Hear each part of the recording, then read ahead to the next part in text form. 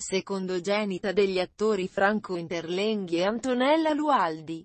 Ha esordito al cinema nel 1977 all'età di 16 anni.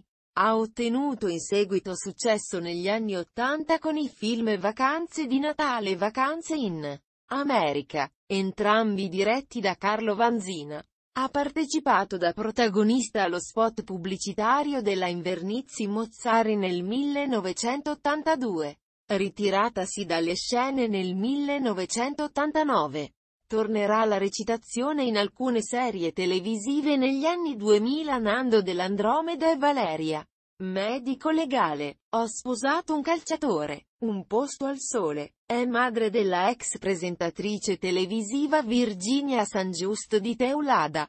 Nata dal matrimonio con Giovanni San Giusto di Teulada. Rampollo di una nobile famiglia sarda.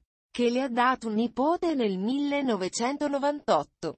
Nell'ottobre 2014 il marito è morto nell'azienda agricola di famiglia Capalbio, GR, in un incidente col trattore, mentre lavorava nei campi.